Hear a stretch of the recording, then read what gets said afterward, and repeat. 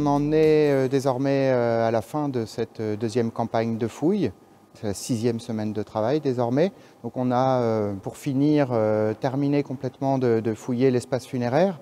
Donc on a trouvé une dizaine de tombes ici et la dernière tombe qu'on a fouillée, c'est un coffrage de pierre qu'on a ouvert la semaine dernière et en fait à l'ouverture on s'est aperçu que en fait, ce caveau avait été réutilisé au moins une fois et à l'intérieur, on a trouvé une réduction, c'est-à-dire euh, euh, des ossements en vrac euh, sur un côté, puisqu'on a ensuite remis un cercueil à l'intérieur, dont les planches d'ailleurs étaient très bien conservées.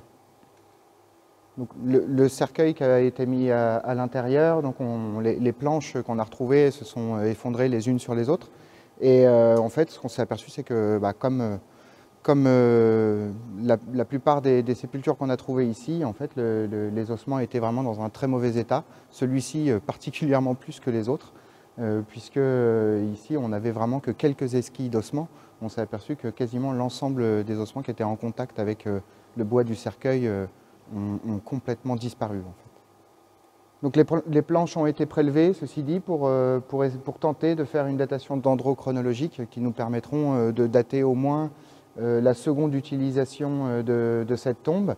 Euh, pour la première utilisation, on pourra faire des datations carbone 14 sur les ossements qu'on a trouvés en réduction et qui nous donneront deux étapes d'utilisation pour cette, cette tombe qu'on a ici.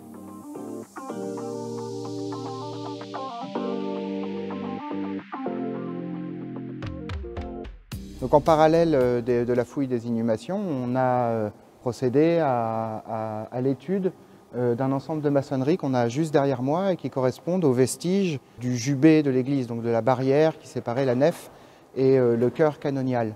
On s'est aperçu, euh, grâce à la fouille, qu'ici on a affaire à, une barrière qui a évolué au cours du temps, puisqu'on s'est aperçu qu'elle a été reconstruite au moins quatre fois, de plus en plus monumentale, avec l'aménagement aussi d'un hôtel qui était juste devant ce jubé. Et cet hôtel était dédié à la Vierge, comme nous l'indiquent euh, euh, les sources euh, historiques. Donc comme ça, on est remonté à peu près jusqu'au XIIe siècle. Hein. On a pu mettre au jour quelques vestiges des sols anciens de l'époque romane. Et puis, aux endroits qui n'ont pas été perturbés par les aménagements postérieurs, on a pu passer sous ces niveaux de sol de l'époque romane et euh, découvrir ce qui restait des, vestiges de l'église du Xe siècle, donc, euh, qui correspondent à la fondation de la collégiale par Geoffroy Grisgonel, euh, le père de Fulkenera.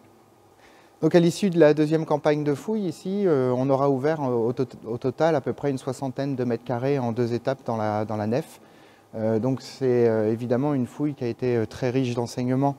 donc au-delà du cas Sforza, hein, qui a été un peu le, point d'orgue de cette euh, opération qui a été euh, d'ailleurs assez satisfaisant d'un point de vue des, vestiges, hein, puisqu'on a bien pu dégager les deux squelettes qui nous intéressaient.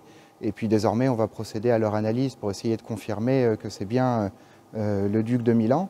On a pu vraiment avoir une fenêtre très importante dans la nef de l'église ici, euh, pour pouvoir euh, vraiment analyser euh, très finement l'évolution de l'Église, des origines jusqu'à nos jours en fait, avec les premières occupations du très haut Moyen Âge, la construction de l'Église du Xe siècle dont on a pu désormais voilà, discerner pas mal de, vestiges qui nous permettent de comprendre un peu mieux comment elle était construite. Et puis ensuite, toute l'évolution de, de l'Église romane jusqu'à la Révolution, jusqu'à la démolition des aménagements liturgiques ici qui nous permet vraiment d'avoir euh, euh, désormais sur cet espace une reconstitution euh, complète de l'histoire du site, des origines jusqu'à nos jours. Les fouilles ici sur la collégiale viennent apporter une pièce du, puzzle supplémentaire pour reconstituer l'ensemble de l'histoire du château. et dans cette perspective, hein, il ne faut pas oublier que en fait, nous, on va rester actifs hein, sur la, cité royale de Loche. C'est loin d'être la, dernière fouille. Alors déjà, euh, par euh, euh, le grand projet de restauration des remparts, en ce moment, on, procède à l'étude systématique des remparts avec mes collègues, qui nous permettra au final d'avoir une, belle étude de l'ensemble des fortifications de Loche à l'issue de l'ensemble de ce programme de restauration. Et puis, si il s'avère qu'on ne peut pas réintervenir près de la collégiale, eh bien, on, va certainement refaire des fouilles programmées. On retournera certainement sur la grande salle de Fulkenera dans le parc des logis royaux, sûrement en 2022 pour faire une ultime opération. Et ensuite, bah, on a encore, nous, plein de projets en tête.